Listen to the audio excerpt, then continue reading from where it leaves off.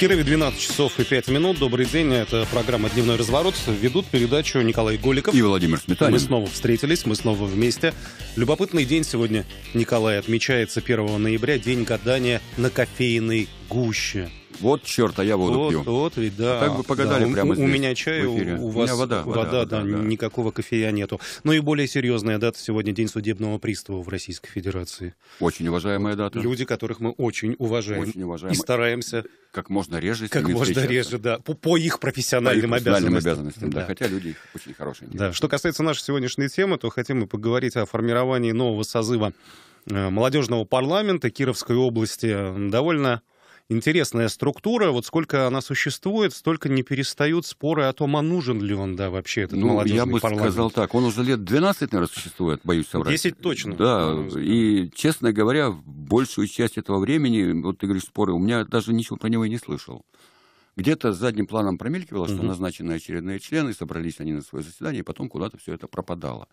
А вот с конца прошлого года и вот по сей момент, то есть практически целый год, слово «молодежный парламент», мне кажется, вообще в топах сочетания в информационной ленте Кировской мгм. области. То есть постоянно всплывает, вот когда выборы начались, вот эти вот в том году, по-моему, еще эти они были, да? Да-да-да, давайте напомним, э, э, новый созыв э, молодежного парламента был сформирован в конце декабря прошлого года, прямо 30 декабря был опубликован список. Ну, там кто- довольно-таки кто долго после выборов там Ну, это логично, да, у история, нас да, в там прошлом проверяли году жалобы, да. выборы в Заксобрании были, собственно. Э, Нашел я материал, участвовало в этих выборах в молодежный парламент в прошлом году почти 150 кандидатов На 40 мест. на 40 мест, да. Проголосовали тогда за кандидатов почти 6 тысяч человек, но это было ноу-хау, на госуслугах ведь На, голосовали. го- да. на госуслугах, На по-моему, да. госуслугах, да. Вот в голосовании приняли участие 6 тысяч человек. Ну и вот в предпоследний день декабря как раз-таки состав молодежного парламента в составе 40 человек стал известен. Но просуществовал он совсем недолго. А, ну потом была новость от начала февраля о том, что выбран официальный председатель, Да, них руководитель было, этого ох, молодежного парламента. Да, да, да, да, да. Анастасия Воробьева. Она, кстати, будет у нас сегодня на телефонной связи. Ну а уже в конце февраля, по-моему, 25 числа, новость облетела все информационные площадки о том, что председатель УЗС Роман Береснев распустил молодежный парламент. Ну, там было как? То есть до этого была первая новость, что 16 членов парламента 14 молодежного- даже, по-моему. 16, по-моему. Я не помню ну, точно. примерно да. полтора десятка. Да, ну как бы треть, по-любому. Э, Молодежного парламента написали заявление о сложении своих полномочий, и по положению о молодежном парламенте это значило, что он должен быть распущен. Распущен. Да, и Береснев его распустил, Роман Александрович. Ну, как тогда мы воспринимали, ну, по крайней мере, я воспринимал эту новость, то есть э, я понял ее как... Если между товарищами согласия нет, то На лучше уж... дело не пойдет, да. на лад дело не пойдет, и лучше нажать кнопку «выкл», чтобы весь этот э, а- агрегат работы его Но переостановить. там, вот, извини, Володь, скажу, должен напомнить нашим слушателям, что была интересная система, то есть вот большинство в этом парламенте составили так называемые молодые оппозиционеры. Мгм. А вот эти вот 16 человек, которые вышли, это были как бы, ну, люди более близкие к партии власти, там, и к реальной такой нормальной системной оппозиции. То есть они оказались в той ситуации, в которой их старшие товарищи находятся сейчас в ОЗС. Мгм. У нас ведь тоже оппозиция в меньшинстве. То есть на- наоборот так. Наоборот, зеркальная, да, зеркальная зеркально. картинка Вот. получилась. Но почему-то старшие товарищи не уходят из взрослого парламента, хотя тоже могут уйти. Мгм. Вот. А здесь вот почему-то поступили так. Но это бог им судья. Ну и тема, видимо, еще играет потому, что а, в хорошем смысле зацепился за это губернатор Александр Соколов. Буквально в середине октября он писал у себя в телеграм-канале о том, что молодежный парламент при областном заксобрании будет возрожден. Кроме того, он писал о том, что планируется организовать молодежные советы при главе Кирова и при всех, При насколько всех я понимаю, главах муниципали- да, муниципалитетов. му- да. муниципалитетов. Молодежный экспертный совет планируется создать при губернаторе, При непосредственно да. да, нашего региона. Ну и еще одна инициатива связана с тем, что создать у нас в области отделение российского движения детей и молодежи. В общем, тема эта не забывается, да? Ну, Александр понимаем? Валентинович вообще Да. большой специалист по молодежной тематике. Он же много работал в- Конечно. в, в Росмолодежи, скажем так, ну, в структурах близких к Росмолодежи. Мгм. Поэтому эта тема им близка и понятна. Это очень хорошо, что он ее, так сказать, скажем так, будирует, активизирует. Мгм. Но вот пока мы имеем то, что имеем. Пока только молодежный парламент и новая система его формирования. Ну и, насколько понимаем, сейчас по-новому предлагается формировать все-таки молодежный парламент. Как, для чего, почему? Давайте пообщаемся с нашим первым гостем, спикером Дмитрий Русских, руководитель фракции «Справедливая Россия за правду» в законодательном собрании Кировской области. Дмитрий Михайлович, приветствуем вас. Добрый день всем слушателям, добрый день ведущим. Спасибо. Добрый день, Дмитрий Надеюсь, Да, спасибо, что вышли да, на связь. Мы сегодня знаем, что далеко находитесь. В чем суть, Дмитрий Михайлович, делать? поясните, да, вот новый порядок формирования, чья вообще эта инициатива, почему именно таким образом решили подойти? Вы знаете, как бы вообще инициатива была изначально другой. Э, значит, инициатива была о том, что э, однозначно не будет э, именно избираться молодежный парламент так, как он избирался до этого потому что я так понимаю, что для руководства ЗАГС Собрания это был неудачный пример, когда было просто прямое голосование через интернет. Значит, э, вы знаете, что случилось с этим молодежным парламентом ровно почти там меньше, чем года, и его расформировали. Значит, и э, ни с того ни с чего решили, что все-таки жить без молодежного парламента, видимо, невозможно, и решили снова повторить там серию номер два. И было предложено а, как бы законопроект, по-моему, Титова, значит, который э, предлагал, э, значит, следующую форму составления молодежного парламента. Одномандатники, э, кто прошел по одномандатным округам, это 27 человек, предлагают, значит, свои кандидатуры значит, э, ну, также по э, письму по своему на депутатском бланке, а 13, депутат, а 13 депутатов молодежного парламента избираются через какие-то там комиссии, какие-то кривые там советы и все прочее. Через конкурс. И это был да, ну какой-то там типа конкурса какого-то. Угу. Ну, конкурс не конкурс. Конкурс проектов, э, вот, там что-то такое было. Ну, и двойная, да, и, двойная, да, и двойная, двойная проверка. Двойная, да, там двойная проверка, так будто они на военный завод устраиваются. Значит, и э, в данном случае, когда мы это все услышали, э, как бы я был...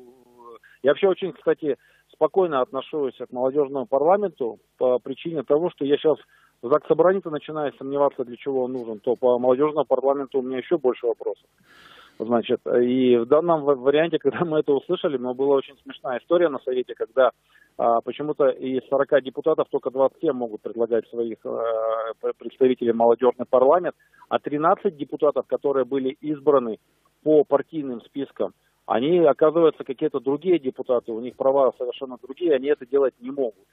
И ну, это, это правда удивительно. Ну, мы сейчас иронизируем, конечно, да, но на самом деле все, да, да, рав... да. все и, равны между собой для народного избрания. Да. Угу. Вышла большая дискуссия, при этом как бы было высказано, э, что это очень странный подход, и самое главное, что практически все а, партии оппозиционные, значит, ЛДПР, КПРФ, значит, и неоппозиционные новые люди, и, э, как это еще, коммунисты, или социальная справедливость какая-то, я не знаю, партия еще. Пенсионеры. Значит, э, эти депутаты... Пенсионеры, да. да. Партия да, пенсионеров. Эти четыре партии не могли э, иметь представителей в молодежном парламенте, потому что у них нет одномандатников. Как у них только вообще. списочники, да. Ну вот, и, и это было очень странно. И понятно, когда завязалась дискуссия, значит, нам предложили э, от трех партий КПРФ, ЛДПР и Справедливая выйти с параллельным э, законопроектом. В чем его суть? Ну, то есть как, просто уравняли как всех. Альтернативные. Да. А, альтернативные мы взяли за основу, если вы не хотите прямые выборы, давайте хотя бы что 40 депутатов, 40 э, представителей э, в молодежный парламент, что каждый депутат, независимо от списка он или одномандатник, имеет право предложить своего кандидата в молодежный парламент. А вот, Дмитрий, еще и, такой... И, угу. да. Дмитрий, такой вопрос. Вот смотрите, сегодня у нас 1 ноября, а здесь написано, что до 7 ноября должны быть все внесены кандидатуры. Почему такая Я спешка? Я тоже был удивлен, когда сегодня увидел какая-то бешеная скорость. У нас то вообще молодежный парламент не нужен был. А сейчас какая-то, значит, включилась срочная скорость и передача, чтобы это все было очень-очень срочно, вплоть до того, что чуть ли там уже на 15 ноября, чтобы они уже могли собраться. Угу. Я, честно говоря, не очень понимаю, для чего такая скорость, но у нас же, знаете, и, и, две фазы. Или мы спим, или мы куда-то бежим. У нас нет другого состояния. Нормального состояния не бывает. Ну, требования к кандидатам да. в молодежный парламент, они известны. Это люди в возрасте от 18 до 35 лет. До 35, да. Да. да. Как, Дмитрий Михайлович, будете внутри фракции, фракции «Справедливая Россия за правду» определяться с кандидатами? То есть каждый э, ну, представитель фракции своего как будет искать, и либо вы каким-то списком будете их там выдвигать? Или какой-нибудь конкурс а, проведете, или выборы? Смотрите, мы, мы обсуждаем там две формы. У нас у кого-то, у депутатов фракции есть э, как бы представители в молодежный парламент, у кого-то нет. И мы хотим просто попробовать объявить такой э, внутренний конкурс, конкурс для того, чтобы э, взять еще где-то всяких кандидатур со стороны, чтобы мы могли тоже это посмотреть и максимально открытым сделать э, вообще как бы формат захода в молодежный парламент. Я еще раз говорю, что, в принципе, я был только докладчиком, uh-huh. значит, инициатива была межпартийная, но мне кажется, что вот такая форма, которая была в пятом созыве, она была наиболее эффективной, потому что практика показала, что вот когда было 54 депутата и 54 э, представителя молодежного парламента, депутатского корпуса, то если мы Э, правильно посмотрели, то там наибольшее количество молодежи, которая потом себя как-то применила после этого молодежного парламента. Все остальное было совершенно какое-то очень странное mm. состояние. Ну, так если... что будем стараться искать молодых, э, активных, кто на самом деле хочет, потому что... Дмитрий Михайлович. Мне кажется, что... Да, да. Слушай. Искать молодых и активных. У вас шесть дней. Давайте бросим клич. Ну, вот мы сейчас в переписке, вот буквально за 10 минут мы уже начали это в чате о своем обсуждать. Угу. Плюс э, у нас есть э, некоторые заявки через э, партию. Угу. И, значит, уже вот региональное отделение нам говорит, что у них есть определенный список молодых ребят, которые хотели бы э, войти в молодежный парламент. Но будем торопиться, что делать. Угу. К сожалению, вот 6 дней это, конечно, очень мало, на самом да, деле. Да, понимаем, Я, что тут... Ну, странная история. Да, хоть, как говорится, Странная спешка нужна только в одном случае, но вот так получается, да.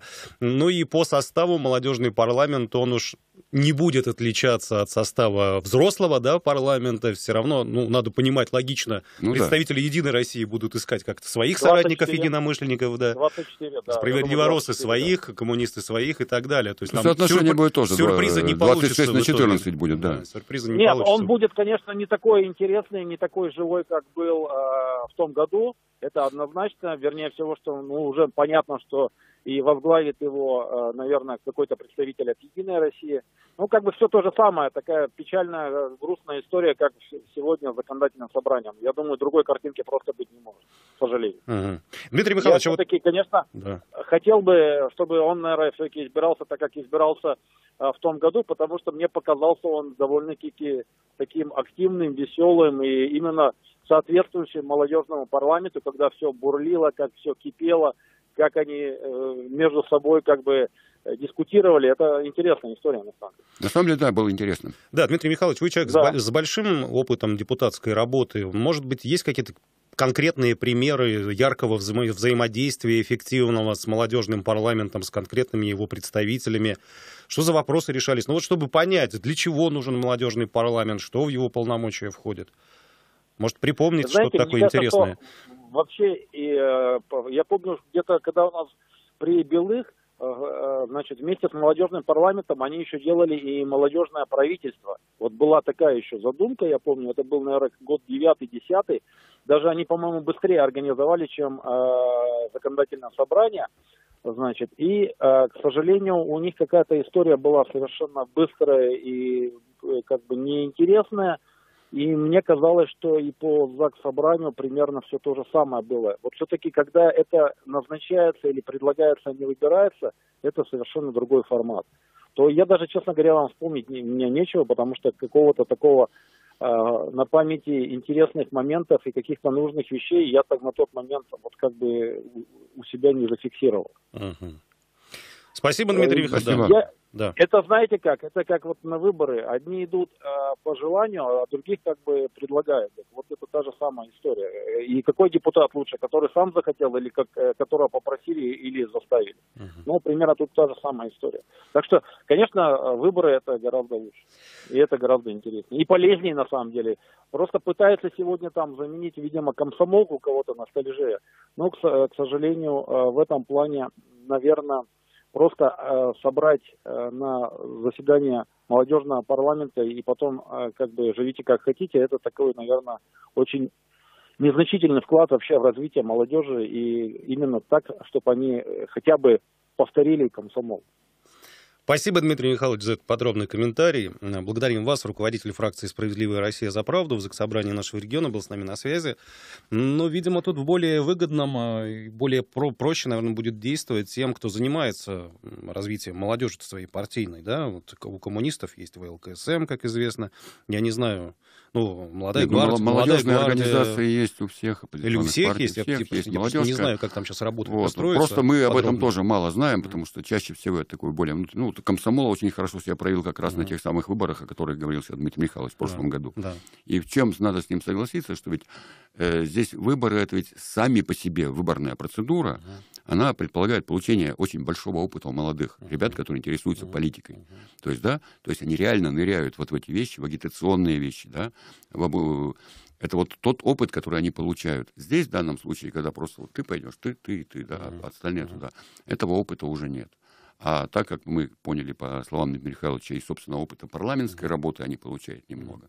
То есть, судя по всему, это просто некое собрание молодых людей, которые используют вот свою вот то, что они вместе, они друга знают, они знакомятся, они вместе друг друга продвигают, то есть такой трамплинчик для карьеры. Ну, тут, наверное, мы не, это не для того, чтобы да, как-то принизить. Я не, уверен, не, что там я, есть я, много я, разумных, талантливых, так, ну, Тот же Дмитрий Михайлович говорил, ребят, что многие да. из созыва там пятого, по-моему, да. многие себя в политике Но проявили. они, так скажем, теоретики, да, а вот если вот крещение пройти вот этими выборами, то... Но они, быть, они проявили себя после, после парламента, а в самом молодежном парламенте вот 20 человек не мог вспомнить, который там...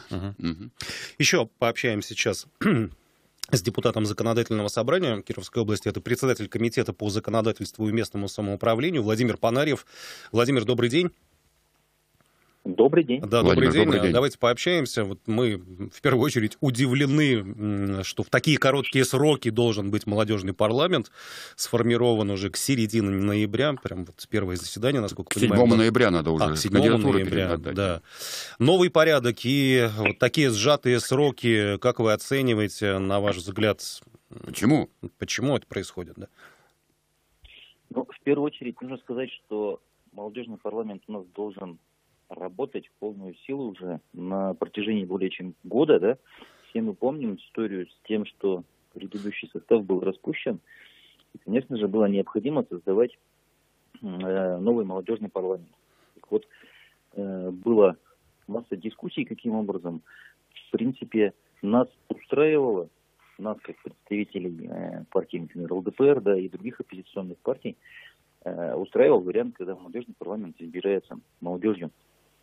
Вот как было это вот последний раз? Да, то есть как это было, это вполне э, рабочая история, на наш взгляд, да, была существовала. Но, видите, состав не совсем, видимо, устроил некоторых людей, поэтому решили переписать некоторые аспекты именно выборы молодежного парламента.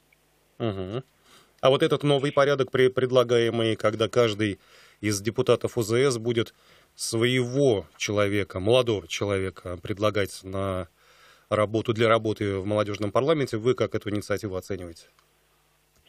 Э, изначально вот этот законопроект, да, он был немножечко в, другом виде, то есть э, предлагалось, на комитете мы рассматривали, да, законопроект о молодежном парламенте новом, и там предполагалось, что депутаты, избранные в законодательное собрание по одномандатным uh-huh. избирательным округам, да, в количестве 27 человек, предлагает своих кандидатов, а остальные, соответственно, остальные представители э, предлагаются политическими объединениями, общественными объединениями и так далее. То есть вот такой порядок нам предложили. Естественно, э, ряд депутатов такой порядок не устроил, потому что, ну а что остальные 13 депутатов, они какие-то неправильные депутаты, что ли?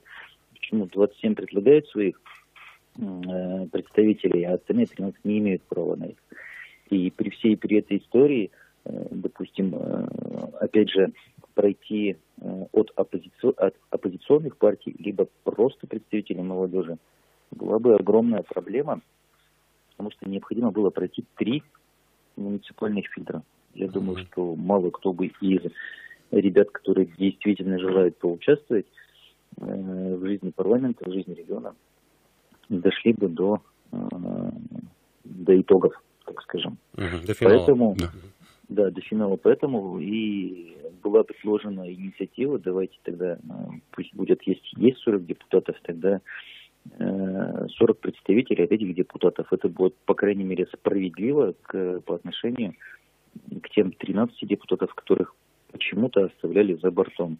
Поэтому такая инициатива и родилась. А Первый вариант, который имел место быть и, по которому мы выбирали предыдущий состав молодежного парламента. Его просто перечеркнули, то есть э, в любом случае его бы не было. Поэтому вот пришлось э, нам предлагать свою альтернативу, которая сейчас э, на предыдущем законодательном собрании была утверждена. Угу. Давайте поговорим о фракции, которую вы представляете, ЛДПР. Эм, для вас составит проблему или абсолютно никаких проблем не составить подобрать кандидатов в молодежный парламент, в новый созыв? Не составит, я считаю. Есть, есть у вас проблем. кадры молодые, да, которые прям рядом с вами, соратники, единомышленники? У нас есть молодежь, у нас есть молодежное крыло, есть э, человек, который э, возглавляет это молодежное крыло, да, то есть работает в принципе с молодежью. Есть э, много активистов, которые помогают. И что касается, например, ЛДПР фракции, да, то мы не сужаем круг до тех, кто у нас состоит в партии, да, то есть до членов партии ЛДПР. Это может быть абсолютно э, любой инициативный молодой человек там, или девушка, которые желают, которых есть задор, есть какие-то проекты, которые они готовы реализовывать. Э, Владимир Александрович, вы говорите, да, у вас э, конкурс. Угу, да? довольно-таки большое там представительство молодежи есть. Вот как раз речь идет о том, как из такого большого количества в такие короткие сроки выбрать, сколько вам нужно будет, четверых выбирать, да? А, двух. Двух. У нас э, два человека. А, два человека, да, точно. Двоих выбрать из такого количества какой-то конкурс будете проводить или что? Я не скажу, что на сегодняшний день э, у нас прям э, очередь стоит, да. Там есть, То есть желающих нет, да? Порядка, порядка 5-6 человек, да, мы проведем э, соответствующее собеседование и выберем. Угу. Угу. Выберем тех, кто наиболее подходит, по нашему мнению, опять же, да. Угу. Да, по вашему мнению. Понятно. А как бы, вот интересно, вы сформулировали для представителей молодого поколения от 18 до 35 лет вообще цели, задачи, смысл, суть работы в молодежном парламенте? То есть вот они к вам пять придут да. на собеседование, человек, да? Как вы вот их э, должны мотивация в чем? убедить, заинтересовать? Да, мотивация в чем? Чем он там сможет тебе там научиться чему-то или чего-то достичь? Там, для чего ну, стоит первую... пытаться попасть в молодежный парламент? Да? Как бы с молодежью мы работаем давно как с таковой, да, но не с представителями именно молодежного парламента. Uh-huh. То есть в первую очередь эти люди должны быть с активной жизненной позицией, которые готовы что-то менять э, в жизни именно нашего региона. То есть э, парламент это все-таки э, законотворческая деятельность. То есть молодые люди должны предлагать какие-то проекты, в частности, на мой взгляд, да, это то, что касается молодежи. Э, законопроекты касаются именно молодежи uh-huh. где улучшить жизнь, какой нормативно-правовой акт изменить, в какой части. То есть э, они предлагают, они с этим работают, приобретают определенный опыт нормотворческой деятельности, да, то есть они в том числе и готовят законопроекты и пояснительные записки. И э, все вот это, да, в общем, э, купе у них формирует какой-то интерес именно к, к политике, к культуре политики. И в будущем э, как бы они уже стают парламентариями, да, участвуют в выборах, там, избираются, пожалуйста. То есть uh-huh. это определенный опыт, так скажем, который нарабатывают именно в молодежном парламенте. Ну, у нас, как известно, мы сегодня вот озвучивали, да, губернатор Соколов высказал свою позицию по этому поводу, и молодежный парламент при УЗС, и молодежный экспертный совет при губернаторе Кировской области э, собираются создать, и молодежные советы при главе Кирова и главах э, других муниципальных образований. У меня сейчас вопрос рождается, где мы столько активной молодежи-то наберем, столько советов? Дело в том, что когда э, власть у нас делать ставку на молодежь, на мой взгляд, это правильно. Uh-huh. У них э, иные взгляды, они живут в современном мире, они быстрее приспосабливаются к тому, что у нас происходит, да, там, сейчас же все уходят в социальные сети, там, телефоны, в интернет, и они много общаются именно там, да, получают гораздо больше информации, чем более взрослое поколение. И когда ставка делается на молодежь, на мой взгляд, это правильная история. Uh-huh.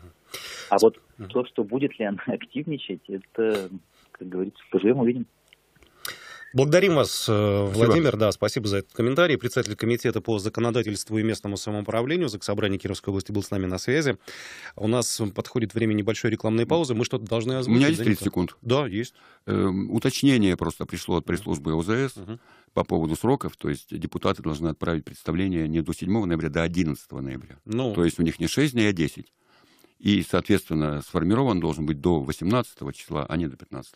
Вот два уточнения ну, Буквально на 3-4 дня. На 3 да? дня, э, подольше. Да, да отсрочку, так что Дмитрий сроков. Михайлович сможет спокойно немножко свою командировку закончить. Да. Реклама сейчас будет у нас, и после чего еще 10 минут программы. Телефон рекламной службы 211 411.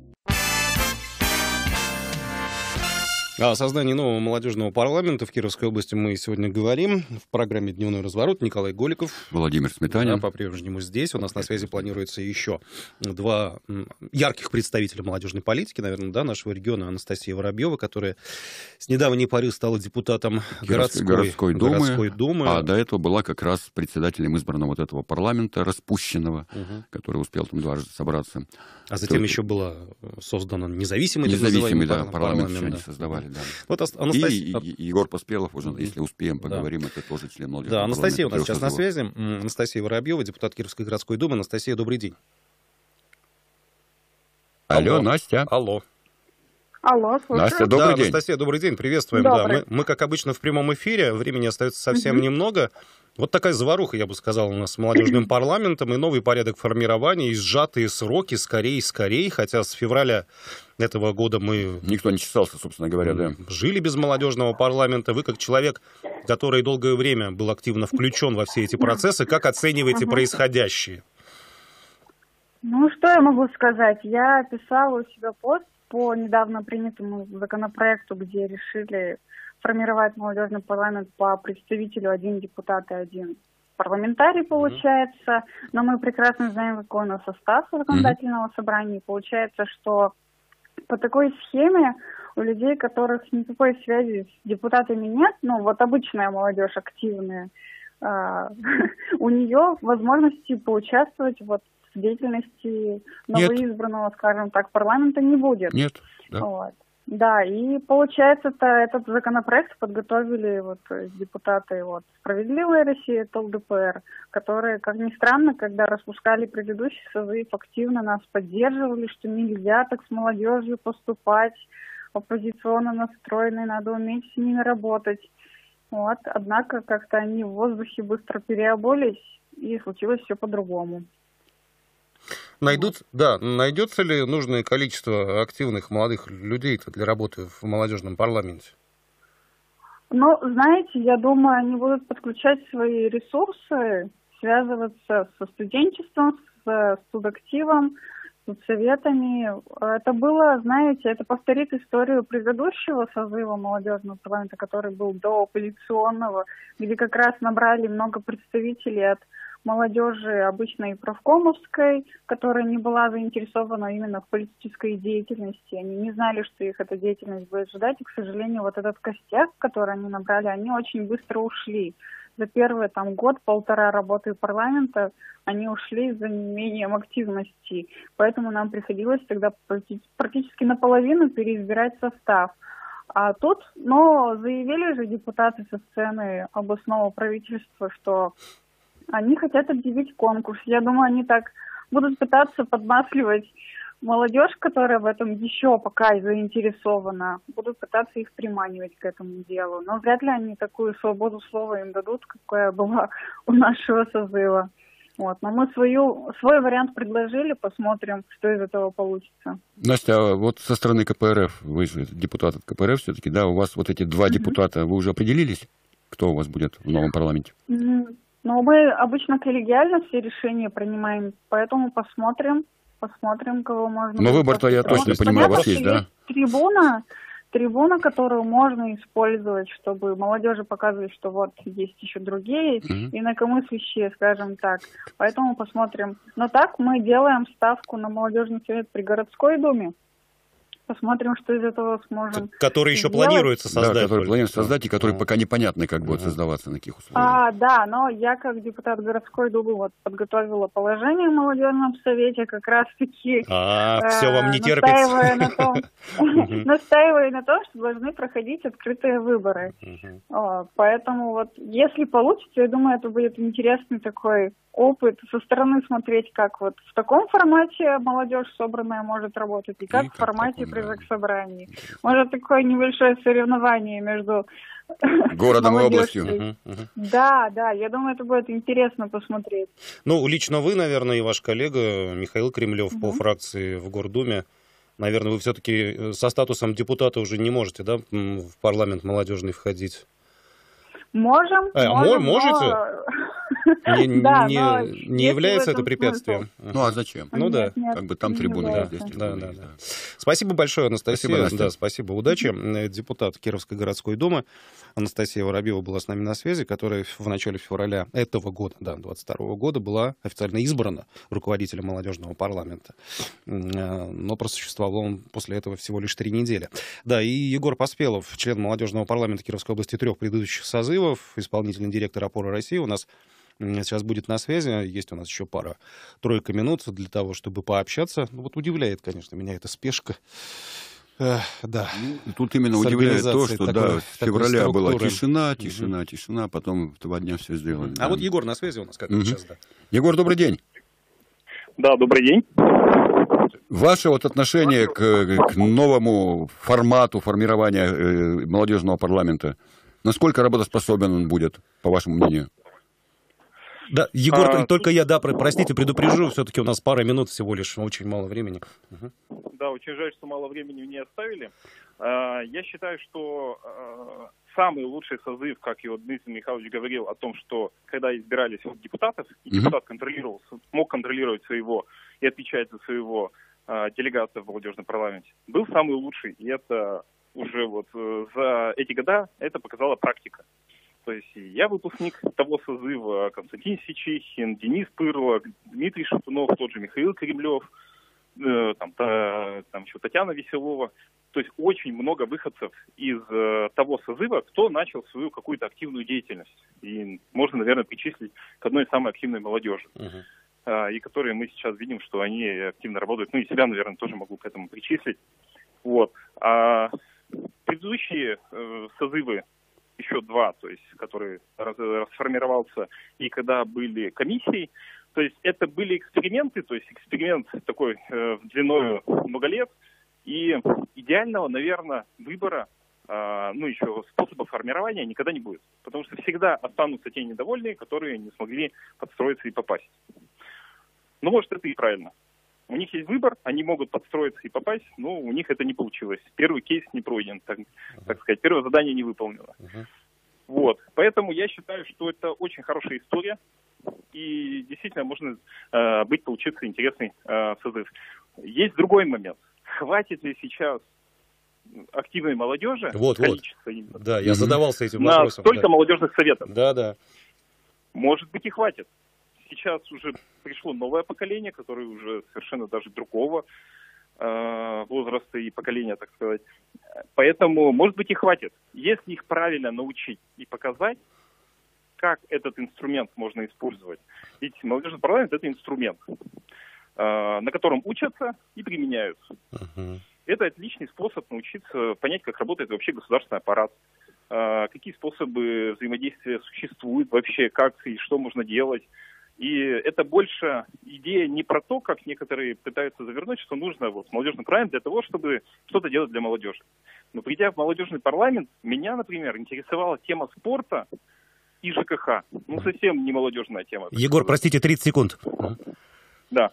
Поэтому я считаю, что э, именно молодежный парламент это площадка, чтобы научить молодежь взаимодействовать и развиваться дальше. И это очень хороший способ, как бы инструмент получается, а не только для того, чтобы именно молодежь что-то создавала для молодежи. Вот. То есть Короткая фраза. Очень жаль, что мне оставили столько времени. Ну, к сожалению, Я надеюсь, что мы еще раз... сами при, привыкаем да, к нашим новым э, временным форматам. Да, спасибо большое все-таки за комментарий. Член молодежного парламента Кировской области трех предыдущих созывов, исполнительный директор «Опоры России» Егор Поспелов был с нами на связи. Ну вот, э, подводим черту на этом. Ну, Будем ну, смотреть, что дальше Будем будет. смотреть, когда, но вариант Егора, что парламент — это школа молодого политика. Угу. Спасибо. Николай Голиков, Владимир Сметанин. До свидания.